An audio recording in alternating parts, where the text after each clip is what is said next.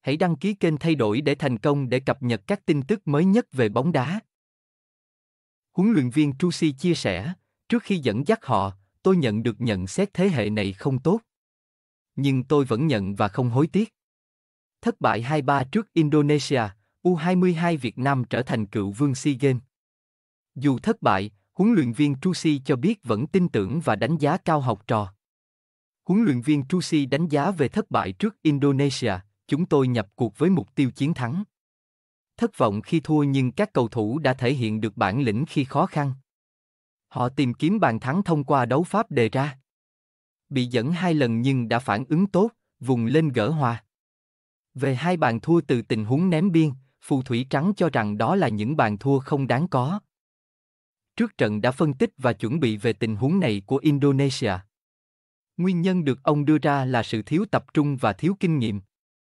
Dù vậy, chiến lược gia người Pháp cho biết không trách họ, chấp nhận sai số của các cá nhân, họ cần thời gian để cải thiện. Ông cũng nhận định các học trò đều có sự tiến bộ, hài lòng về tinh thần chiến đấu của họ. Nhóm thế hệ này không có nhiều cá nhân nổi bật nhưng tôi tin với cách huấn luyện hợp lý các em có thể có tương lai tốt hơn. Dù thua trận này, tôi không mất niềm tin vào các cầu thủ. Họ đã chơi rất cố gắng, cống hiến hết mình. Giải này các cầu thủ cho thấy khác hoàn toàn so với suy nghĩ của nhiều người. Họ có triển vọng, nếu được đầu tư tốt sẽ là một đội hình tốt, huấn luyện viên Trusi cho biết. Ông cho biết SEA Games 32 chỉ là sân chơi để U22 thể hiện bản thân. Từ kết quả ở giải đấu, ông có thể nhận xét, đánh giá về lứa cầu thủ này và không hối tiếc khi dẫn dắt họ. Phù Thủy Trắng chia sẻ, trước khi dẫn dắt họ, tôi nhận được nhận xét thế hệ này không tốt.